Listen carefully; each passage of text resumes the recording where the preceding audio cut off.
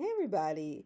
So, I wanted to talk about this and whatever. I know a lot of people feel like this or they may not. And honestly, I don't care. And I was just trying to, like, you know, let it simmer for a second.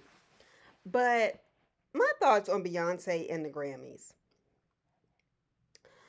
Beyonce has 32 Grammys and has never won Album of the Year. Now, I know there are people who say, "Well, fuck the Grammys.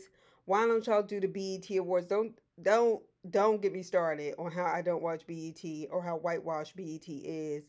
And I I just mm, nope. Don't get me started on that. Or why can't you just be happy with all that you have?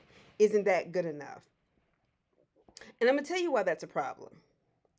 Because people feel like they have the right and ha- have exercised this unjust power over black people to limit what black people have. Oh, we'll give you 32 Grammys, but you'll never get congratulated for album of the year. Anybody who works hard at a craft, okay? I don't care whether it's singing, I don't care whether it's acting, I don't care whether it's uh, medicine, I don't care whether you're a lawyer or a teacher you want to be acknowledged for your work. And the bottom line is, I don't know what the fuck else Beyonce can do after performing Pregnant with Twins back, leaning back with a mic in her motherfucking hand and them giving that goddamn Grammy to fucking Adele, who's not even an American citizen. Now, I don't say that like, oh, only American citizens can win it. I do say that in the sense that I know white people will congratulate white people to remind black people where they belong. There's nothing you can do that is to remind her of her place as a black woman. We'll give you this, but but see, you can only have this based on this, that, or the other. Beyonce has done B'Day. Crazy in Love was a crazy ass debut album. That was her first one. B'Day, I Am Sasha Fierce. Um, let's see. Beyonce, I mean Beyonce self-titles, Lemonade, Renaissance, Black is King.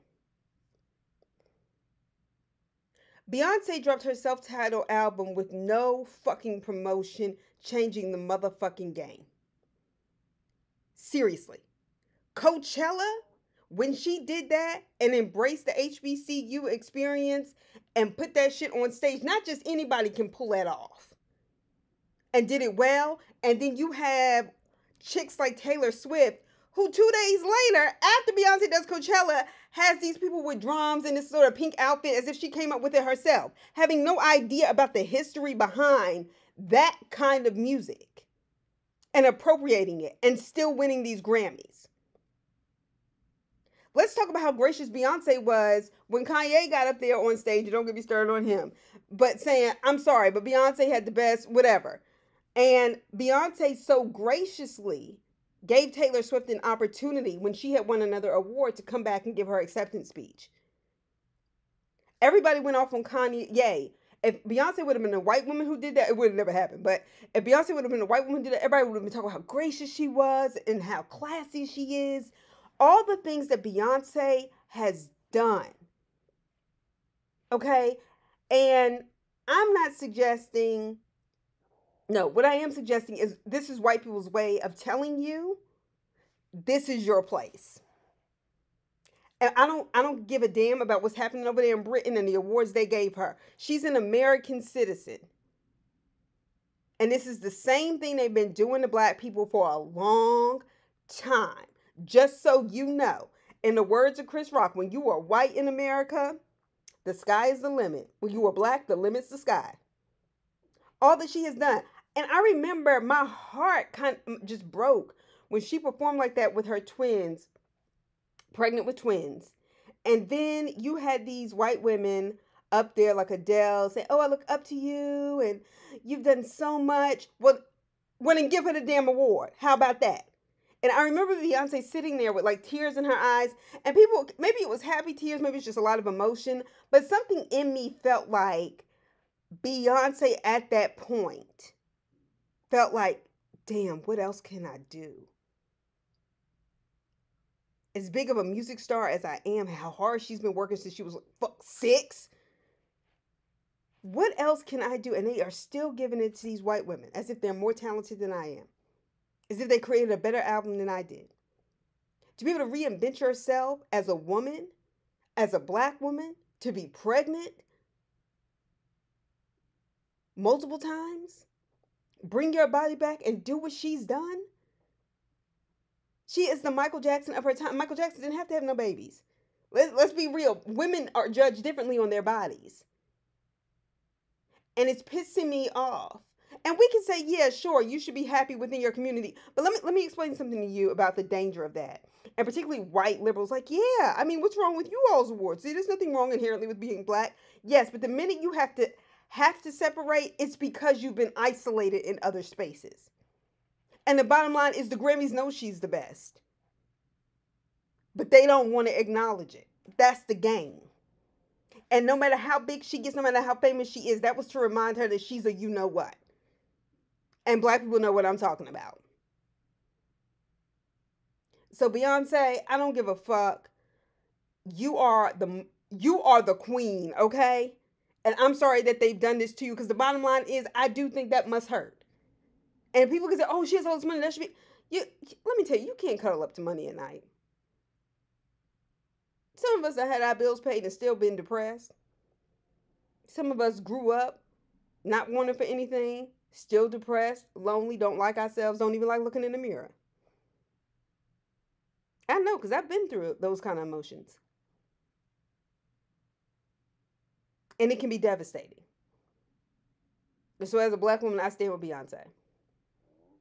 And I'm not gonna play this game. I already know there's gonna be some people, oh, well, she's light skinned, so she got a head. Don't nobody work as hard as Beyonce. Hard work beats talent only when talent doesn't work hard. Catch. And Beyonce has both. She's outworked everybody. Period. There's no reason why she shouldn't have won a Grammy for Album of the Year.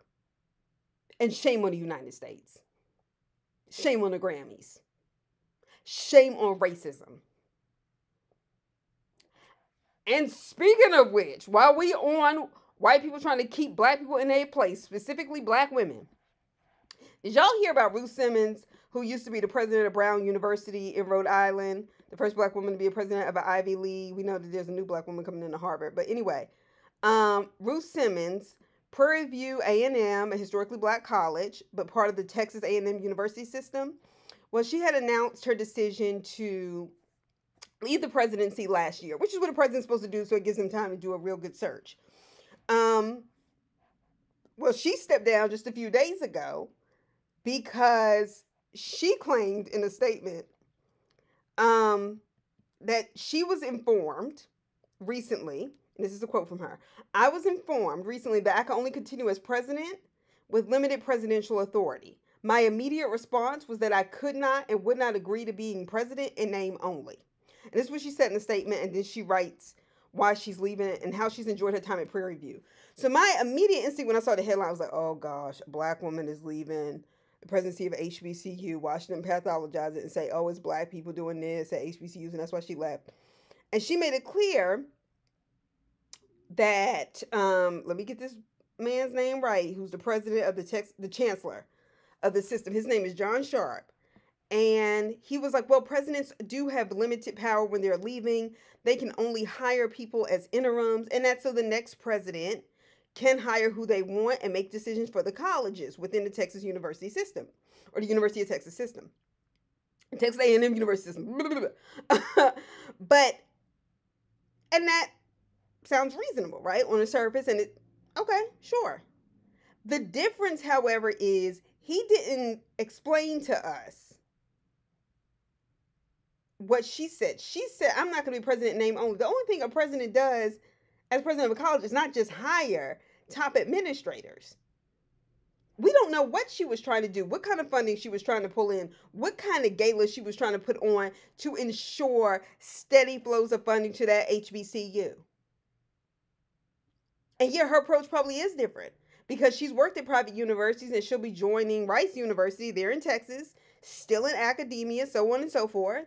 but Rice is private, right? So she wouldn't have to, you know, um, be under the scrutiny of the Texas A&M University system. Certainly not when you're trying to work for other African Americans. That can be burdensome. So I just say this once again, and that's why she left early. She didn't pathologize black people. Um, the Prairie View, what, what was it? Their, I want to say their alumni association, you know, thanked her. They they said they understood that the rules seem, well, at least their representative, well, like the rules seem different for a black woman at the end of her tenure making these decisions. And if she was so hell bent on power, trust me, she would have fought that. She would have fought that until June 1st. That's all she had left. But she refused to be a puppet. And so then they come with this kind of loose language. Well, who said she was only trying to hire people? That's not the only thing she mentioned. She was like, I'm not going to just have the title of president and then I'm not able to still run my school or run the institution. So this is happening from the music scene to academia to daily life with black women being passed over. That's why I'm saying something. And I have a problem with that. And if you're watching this video, please be sure to like and subscribe and comment. Let me know what you think. Um, because the thing is, YouTube, I have all these watch hours, but people aren't subscribing um, as often. But thank you to all of you who have. But anyway, um, so we can talk more about this because this is important for us to have these conversations. All right. See you guys soon. Bye.